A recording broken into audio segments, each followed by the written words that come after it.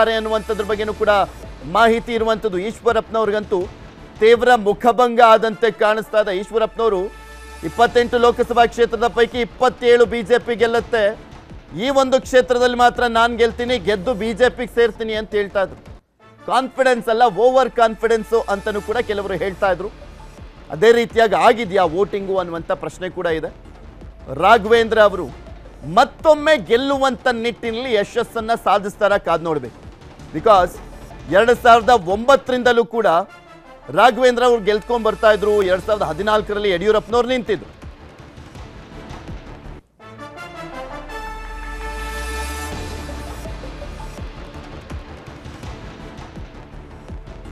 Sir, Bengaluru ಗ್ರಾಮಾಂತರ ತುಂಬ ಕುತೂಹಲ ಕೆಡೆ ಮಾಡಿಕೊಟ್ಟಿರುವಂಥದ್ದು. ಆ್ಯಕ್ಚುಲಿ ಮುನಿರತ್ನ ಅವರು ಒಂದು ಸ್ಟೇಟ್ಮೆಂಟ್ ಹೇಳಿದರು. ಮೂರು ಶತ್ರುಗಳಿದ್ದಾರೆ ಡಿ ಕೆ ಸುರೇಶ್ ಅವರಿಗೆ. ಒಬ್ರು ಅಂತರಂಗ ಶತ್ರು, ಬಹಿರಂಗ ಶತ್ರು, ಈ ರೀತಿಯಾಗಿ ಅವರೆಲ್ಲರೂ ಕೂಡ ಸೇರ್ಕೊಂಡು ಸೇರ್ಸ್ಬಿ ಸೋಲ್ಸ್ಬಿಡ್ತಾರೆ ಅಂತ ಹೇಳ್ತಾ ಇದ್ರು.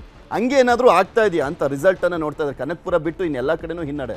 ಅಂದರೆ ಸದ್ಯದ ಟ್ರೆಂಡ್ ಪ್ರಕಾರ ಖಂಡಿತವಾಗಲೂ ಕೂಡ ಇದು ಬಿ ಜೆ ಪಿಗೆ ಪಾಸಿಟಿವ್ ಅಂಶನೇ ಇರುವಂಥದ್ದು ಇಲ್ಲಿ ಯಾಕೆಂದರೆ ಇಲ್ಲಿ ನಡೀತಾ ಇರುವಂತಹ ಒಟ್ಟು ಮುನ್ನಡೆ ನಾವು ಗಮನಿಸಿದಾಗ ಒಂದು ಲಕ್ಷದ ಇಪ್ಪತ್ನಾಲ್ಕು ಸಾವಿರ, ಇಪ್ಪತ್ನಾಲ್ಕು ಸಾವಿರದ ಒಂಬೈನೂರ ನಲವತ್ತು ಆಲ್ಮೋಸ್ಟ್ ಲೈಕ್ ಒಂದು ಒಂದು ಕಾಲು ಲಕ್ಷದಷ್ಟು ಮುನ್ನಡೆಯನ್ನು ಇನ್ನು ಸಾಧಿಸಿದ್ದಾರೆ ಡಾಕ್ಟರ್ ಮಂಜುನಾಥ್ ಅವರು. ಈ ಮುನ್ನಡೆ ನಿಜಕ್ಕೂ ಕೂಡ ಒಂದು ಒಳ್ಳೆಯ ಮುನ್ನಡೆಯನ್ನು ಅವರು ಸಾಧಿಸಿದ್ದಾರೆ. ಹಾಗೆಂತೇಳಿ ಇದೇ ಅಂತಿಮ ಗೆಲುವಿನ ಮುನ್ನಡೆ ಆಗುತ್ತೆ ಅಂತ ಹೇಳೋಕ್ಕೆ ಸಾಧ್ಯ ನಿಮಗೆ ಈ ಮುನಿರತ್ನ ಅವರ ಉಲ್ಲೇಖ ಮಾಡಿದ, ಇದೇ ಮುನಿರತ್ನ ಅವರ ಅಸೆಂಬ್ಲಿ ಲೀಡ್ಗಳನ್ನು ನೋಡಿದಾಗಲೂ ಕೂಡ ಅವರು ಒಂದು ನಲವತ್ತು ಸಾವಿರದಷ್ಟು ಮುನ್ನಡೆಯನ್ನು ತಗೊಂಡು ಕಡೆ ಹಂತಕ್ಕೆ ಬಂದಾಗ ಅದು ಒಂಬತ್ತು ಸಾವಿರಕ್ಕೆ ಬಂದು ನಿಲ್ ನಿಲ್ಲುವಂಥ ಉದಾಹರಣೆ ಇದೆ. ಯಾಕೆ ಅವರು ಒಂಬತ್ತು ಸಾವಿರದಲ್ಲಿ ಅವರು ಗೆಲ್ತಾರೆ ಅಂದರೆ ಅವರ ಆ ನಲವತ್ತೈದು ಸಾವಿರ ಒಂದು ಕಡೆಯಲ್ಲಿ ಇದೆಯಲ್ಲ ಅವ್ರದ್ದು ಅವರ ವೋಟ್ ಬ್ಯಾಂಕ್ ಇದೆ ಅವ್ರಿಗೆ, ಒಂದು ಮೂರು ಮೂರು ಸೆಗ್ಮೆಂಟ್ ಇದೆ ಅವರ ಮತಕ್ಷೇತ್ರದಲ್ಲಿ. ಆ ಮೂರು ನಾಲ್ಕು ವಾರ್ಡ್ ಏನಿದೆಯಲ್ಲ ಅದು ಅವರ ಬ್ಯಾಂಕ್ ಅದು. ಆ ಬ್ಯಾಂಕ್ನಲ್ಲಿ ಅವರ ಎಷ್ಟು ಮತಗಳು ಬಂದಿರ್ತಾವೋ ಅದರ ಮೇಲ್ಗಡೆ. ಇದು- ಇದೇ ಇಲ್ಲಿಗೆ ನಡೀತಾ ಇರುವಂಥದ್ದು. ಈಗ ಬಿಜೆಪಿಯ ಬ್ಯಾಂಕ್ನಲ್ಲಿರುವ ಮತಗಳು ಬಹಳ ದೊಡ್ಡ ಮಟ್ಟದಲ್ಲಿ ಈಗ ಕ್ರೋಢೀಕರಣ ಆಗಿದೆ. ಇದರ ಮೇಲ್ಗಡೆ ಲೀಡನ್ನು ಬಿ ಜೆ ಪಿ ಉಳಿದ ಕಡೆಗಳಲ್ಲಿ ಇಷ್ಟು ಮೇಂಟೈನ್ ಮಾಡಿದೆ ನಂತರ ಮೇಲ್ಗಡೆ ಇದೆ. ಅಲ್ಲಿ ಜೆ ಡಿ ಎಸ್ನ ಓಟು ಈಗ ಬಿ ಜೆ ಪಿ ತನ್ನ ಓಟ್ಗಳನ್ನು ಪೋಲ್ ಮಾಡುತ್ತಿದ್ದು ಯಶಸ್ವಿ ಆದಂತೆ ಕಾಣ್ತಾ ಇದೆ ಅಲ್ಲಿ. ಆದರೆ ಜೆ ಡಿ ಎಸ್ನ ಓಟ್ ಬರಬೇಕಾಗಿರುವಂಥ ಕ್ಷೇತ್ರಗಳ ಲೆಕ್ಕಾಚಾರ ನಮ್ಗೆ ಇನ್ನೂ ಸಿಗಬೇಕಾಗಿರೋದು ಅದು ವಿಶೇಷವಾಗಿ ಮಾಗಡಿ ರಾಮನಗರ ಚನ್ನಪಟ್ಟಣ ಈ ಕ್ಷೇತ್ರಗಳಲ್ಲಿ. ಮತ್ತು ಕನಕಪುರದಲ್ಲಿ ಅಲ್ಲಿ D K D K brothers ವಿರೋಧಿ ಮತಗಳಿದಾವೆ ಅಲ್ಲಿ. ಆ ವಿರೋಧಿ ಮತಗಳು ಎಷ್ಟರ ಮಟ್ಟಿಗೆ ಈ ಬಾರಿ ವೋಟಿಂಗ್ ಆಗಿ ಕನ್ವರ್ಟ್ ಆಗಿದೆ ಅಂತೇಳಿ ಅದು ಸುಮಾರು ನಲವತ್ತೈದು, ಐವತ್ತು ಸಾವಿರ, ಅರವತ್ತು ಸಾವಿರ, ಎಪ್ಪತ್ತು ಸಾವಿರದವರೆಗೂ ಕೂಡ ವೋಟ್ ಬರ್ತದೆ. ಜೆ ಡಿ ಎಸ್ ಸಾಮಾನ್ಯ ಅಭ್ಯರ್ಥಿಗಳನ್ನ ಹಾಕದ ಸಂದರ್ಭ ಕೂಡ ನಲವತ್ತೈದು ಸಾವಿರ, ಐವತ್ತು ಸಾವಿರ ವೋಟ್ ತಗೊಂಡಿರುವ ಉದಾಹರಣೆ ಇದೆ. ಆದರೆ ಕಳೆದ ಎಲೆಕ್ಷನ್ ನೋಡಿದ್ವಿ ನಾವು, ಒಂದು ಕಾಲು ಲಕ್ಷ ಲೀಡನ್ನು ಕೊಟ್ಟಿದ್ದು ಡಿ ಕೆ ಶಿವಕುಮಾರ್ ಅವರಿಗೆ, ಅದೊಂದು ಅಸೆಂಬ್ಲಿ ಹೀಗಾಗಿ ಅದನ್ನು ಅಷ್ಟು ಸುಲಭವಾಗಿ ನಾವು ಆ ಅಸೆಂಬ್ಲಿಯ ಓಟನ್ನು ಕೂಡ ಲೆಕ್ಕ ನೋಡ್ಬೇಕಿದೆ. ಕೋಲಾರ ಒಂದು ಎಕ್ಸಾಂಪಲ್ ಇದೆ. ಎಪ್ಪತ್ತೆಂಟು ಸಾವಿರ ಇದ್ದಿದ್ದು ಜೆ ಡಿ ಎಸ್ ಸೀದಾ ಎರಡು ಸಾವಿರ ಎಕ್ಸಾಕ್ಟ್ಲಿ ಎಕ್ಸಾಕ್ಟ್ಲಿ ಅಲ್ಲಿ ಯಾಕಂದ್ರೆ ಕೋಲಾರದಲ್ಲಿರುವಂತಹ ಸೆಗ್ಮೆಂಟ್ಗಳನ್ನ ನೋಡಿದಾಗಲೂ ಕೂಡ ಇದೇ ರೀತಿಯಾದಂತಹ ಟ್ರೆಂಡ್ ಇವಾಗ ಕಾಣ್ತಾ ಇರುವಂಥದ್ದು.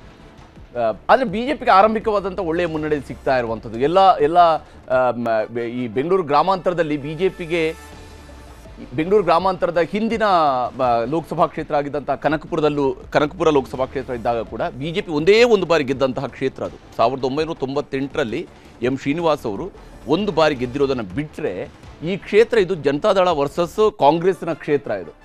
ಕಳೆದ ಬಾರಿ ಬಿ ಜೆ ಪಿಗೆ ಒಳ್ಳೆಯ ವೋಟ್ ಬಂದಿತ್ತಲ್ಲಿ. ಸುಮಾರು ಆರು ಲಕ್ಷ ಚಿಲ್ಲರೆ ವೋಟ್ ಬಂದಿತ್ತು. ಜೆ ಡಿ ಎಸ್ನವ್ರು ಹೇಳ್ತಾರೆ, ನಮ್ಮ ಎಲ್ಲ ಓಟ್ ಕೂಡ ಕಾಂಗ್ರೆಸ್ಗೆ ಕನ್ವರ್ಟ್ ಮಾಡಿದ್ವಿ. ನಾವು ಭಾಳ ಡೀಸೆಂಟಾಗಿ ಮೈತ್ರಿಯನ್ನು ಫಾಲೋ ಮಾಡಿದ್ವಿ. ಅಂತ ಕೂಡ ಹಂಗಿರಲಿಲ್ಲ ಅದು. ಜೆ ಡಿ ಎಸ್ನ ಓಟು ಕೂಡ ಎರಡು ಕಡೆಗೆ ಸ್ಪ್ಲಿಟ್ ಆಗಿತ್ತು.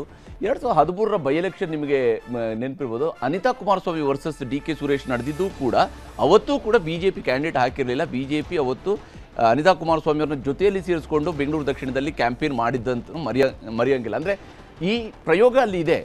ಆದರೆ ಈ ಬಾರಿಯ ಹಿನ್ನಡೆ ಇದೆಯಲ್ಲ ಇದಕ್ಕೆ ಬಹಳ ಮುಖ್ಯ ಕಾರಣ ಏನಂತ ಹೇಳಿದರೆ ಡಾಕ್ಟರ್ ಮಂಜುನಾಥ್ ಅವರ ಪರ್ಸನಲಿ ಅವರ ಬಗ್ಗೆ ಜನರಲ್ಲಿದ್ದಂಥ ಒಪಿನಿಯನ್. ಅವರ ಬಗ್ಗೆ ಒಂದು ಗುಡ್ ವಿಲ್ ಇತ್ತು ಜನರಲ್ಲಿ. ಹೃದಯವಂತ ಅನ್ನುವಂಥದ್ದು ಡಾಕ್ಟರ್ ಆಗಿ ಕೆಲಸ ಮಾಡಿದ್ದಾರೆ. ನಾನು ನಾನು ವಿಶೇಷವಾಗಿ ಈ ಬೆಂಗಳೂರು ಗ್ರಾಮಾಂತರ ಲೋಕಸಭಾ ಕ್ಷೇತ್ರದಲ್ಲಿ ಟಿಕೆಟ್ ಅನೌನ್ಸ್ ಆದಾಗ ಟೂರ್ ಮಾಡಿದ್ದೆ. ಅಲ್ಲಿ ಕನಕಪುರದಲ್ಲಿ ಕನಕಪುರದಲ್ಲಿ ಅಲ್ಲಿ ಒಂದು ಕುರಿ ಸಂತೆಗೆ ಹೋದಂಥ ಸಂದರ್ಭದಲ್ಲಿ ಅಲ್ಲಿ ಜನ ಹೇಳ್ತಾ ಇದ್ದಂಥ ಮಾತು. ನೋಡ್ರಿ, ಡಾಕ್ಟ್ರ್ ಎಷ್ಟು ಆಪರೇಷನ್ ಮಾಡಿದ್ದಾರೆ. ಎಷ್ಟು ಮನೆಗಳಲ್ಲಿ ದೀಪ ಉಳಿಸಿದ್ದಾರೆ ಅನ್ನುವ ಮಾತುಗಳನ್ನು ಕನಕಪುರದಲ್ಲಿ ಜನ ಹೇಳ್ತಾ ಇದ್ರು. ಸಿಂಬಲ್ ಬಗ್ಗೆ ಅಲ್ಲಿ ಜೆ ಡಿ ಎಸ್ನ ಕಾರ್ಯಕರ್ತರಿಗೆ ಅಸಮಾಧಾನ ಇತ್ತು, ಇಲ್ಲ ಅಂತೇಳಿ ಅಲ್ಲ, ಕೆಲವು ಹಾರ್ಡ್ ಕೋರ್ ಕಾರ್ಯಕರ್ತರು ಹೇಳ್ತಾ ಇದ್ರು. ಏನು ನಮ್ಮ ಪಾರ್ಟಿ ಸಿಂಬಲ್ ಇರಲಿಲ್ವಾ? ಗೌಡ್ರ ಅಳಿಯ ಅಲ್ವಾ ಈ ಪ್ರಶ್ನೆಯನ್ನು ಕೇಳಿದ್ದಾರೆ ಅಲ್ಲಿ ಜನ. ಆದರೆ ಅಂತಿಮವಾಗಿ ಅಲ್ಲಿ ಬಿ ಜೆ ಪಿ ಮತ್ತು ಜೆ ಡಿ ಎಸ್ ಬಹಳ ಸುಲಭವಾಗಿ ಒಗ್ಗೂಡೋದಕ್ಕೆ ಅವಕಾಶ ಇತ್ತು. ಕಾಂಗ್ರೆಸ್ ಮತ್ತು ಜೆ ಡಿ ಎಸ್ನ ರೀತಿಯಲ್ಲಿ. ಕಾಂಗ್ರೆಸ್ ನಾನು ಅದಕ್ಕೆ ಹೇಳಿದ ಹತ್ತೊಂಬತ್ತರ ಉದಾಹರಣೆ ಯಾಕೆ ಜೆ ಡಿ ಎಸ್ನ ಪೂರ್ತಿ ಓಟ್ ಹೋಗಿಲ್ಲ ಅಂದರೆ ಜೆ ಡಿ ಎಸ್ ಪೂರ್ತಿ ಓಟ್ ಹಾಕಕ್ಕೆ ಸಾಧ್ಯ ಇಲ್ಲ ಅಂತೇಳಿ ಕಾಂಗ್ರೆಸ್ಗೆ ಯಾಕಂದ್ರೆ ಕಾಂಗ್ರೆಸ್ನವರು ಕೂಡ ಅಷ್ಟೇ ಪೂರ್ತಿ ಓಟ್ ಜೆ ಡಿ ಎಸ್ ಹಾಕಕ್ಕೆ ಸಾಧ್ಯ ಇಲ್ಲ. ಯಾಕಂದ್ರೆ ಅವರು ಅಷ್ಟು ಬದ್ಧ ವಿರೋಧಿಗಳು ಅವರು. ಅವರು ಕುತೂಹಲ ತಲ ಅವ್ರ ಒಂಥರ ಮನೆತನದ ಗಲಾಟೆಗಳಿದಾವೆ ಅಲ್ಲಿ. ಮನೆತನದ ಶತ್ರುತ್ವ ಇದೆ ಅವರಲ್ಲಿ. ನಾಯಕರುಗಳು ಒಗ್ಗೂಡ್ಬೋದು ಇಲ್ಲಿ ಇವರು. ಜೆಡಿಎಸ್ ಸಿಂಬಲ್ ಬಿಟ್ಟು ಅಲ್ಲ ಜೆ ಡಿ ಎಸ್ ಸಿಂಬಲ್ ತಗೊಂಡಿದ್ರೆ ಇಷ್ಟು ದೊಡ್ಡ ಮಟ್ಟದಲ್ಲಿ ಪ್ಲಸ್ ಆಗ್ತಿರ್ಲಿಲ್ವಾ ಅಂತ? ಆಗ್ತಿ ಚಾನ್ಸಸ್ ಇತ್ತು, ಆದರೆ ಬಿ ಜೆ ಪಿಗೆ ಒಂದು ನ್ಯಾಚುರಲ್ ಆಗಿರುವಂಥ ಒಂದು ವೋಟ್ ಇತ್ತು. ಯಾಕಂದರೆ ಬೆಂಗಳೂರು ದಕ್ಷಿಣ ಇದೆಯಲ್ಲ, ಅವರ ಬಹಳ ಬಹಳ ದೊಡ್ಡ, ಅವ್ರಿಗೆ ಗೆಲ್ಲೋದಕ್ಕೆ ಕನಸು ಅವ್ರು ಕಾಣಬೇಕು ಅಂದರೆ, ಅವ್ರಿಗೆ ಹಿಂದೆಯೂ ಕೂಡ ಗೆಲ್ಲೋದಕ್ಕೆ ಅವಕಾಶ ಇದ್ದಿದ್ದು ಉತ್ತರಹಳ್ಳಿಯಲ್ಲಿ ಇತ್ತು ಕನಕಪುರದಲ್ಲಿ. ಆ ಉತ್ರಳಿ ವಿಧಾನಸಭಾ ಕ್ಷೇತ್ರವನ್ನು ಸತತವಾಗಿ ಬಿ ಜೆ ಪಿ ಗೆಲ್ತಾ ಇತ್ತು. ಹಾಗಾಗಿ ಅವರಿಗೆ ಅಲ್ಲಿ ಅವಕಾಶಗಳು ಇದ್ವು. ಆದರೆ ಆಗ ಮಳವಳ್ಳಿಯೂ ಕೂಡ ಅದೇ ಕನಕಪುರ ಲೋಕಸಭಾ ಕ್ಷೇತ್ರ ಸೇರ್ತಾ ಇದ್ದ ಕಾರಣದಾಗಿ ಅವಾಗ ಅಲ್ಲಿ ಬಿ ಜೆ ಪಿ ಹಿನ್ನಡೆ ಅನುಭವಿಸ್ತಾ ಇತ್ತು. ಅದರ್ವೈಸ್ ಅದು ಬಿ ಜೆ ಪಿಯ ಒಳ್ಳೆಯ ಓಟ್ ಇರುವಂಥ ಕ್ಷೇತ್ರ. ಈ ಬಾರಿ B J P symbol plus ಅದನ್ನು ಸಿಂಬಲ್ ಎಕ್ಸ್ಚೇಂಜ್ ಅಂತ ಹೇಳ್ತಾರೆ. ಯಾವ ಕಾರಣಕ್ಕಾಗಿ ಅಂತ ಹೇಳಿದ್ರೆ ಮಂಜುನಾಥ್ ಅವ್ರನ್ನ ಜೆ ಡಿ ಎಸ್ ಸಿಂಬಲ್ ತರನೇ ನೋಡ್ಬೇಕಾಗತ್ತೆ ಹಂಗಾಗಿ ಆ ಸಿಂಬಲ್ ಎಕ್ಸ್ಚೇಂಜ್ ಕೂಡ ಸರ್ ಈ ತುಮಕೂರು ಓಸಲಿ ಮಂಡ್ಯ ಮತ್ತೆ ಕುಮಾರಸ್ವಾಮಿ ಅವರ ಮುನ್ನಡೆ ನೋಡಿ ಒಂದು ಲಕ್ಷದ ತೊಂಬತ್ತು ಸಾವಿರ. ಬಹುಶಃ ಕುಮಾರಸ್ವಾಮಿ ಅವರು ಈ ಒಂದು ಲೋಕಸಭಾ ಕ್ಷೇತ್ರದಲ್ಲಿ ಸ್ಪರ್ಧಿಸುವಂತಹ ನಿರ್ಧಾರವನ್ನ ಕೈಗೊಂಡಂತಹ ಸಂದರ್ಭವನ್ನ ನಾವು ಲೆಕ್ಕ ಹಾಕ್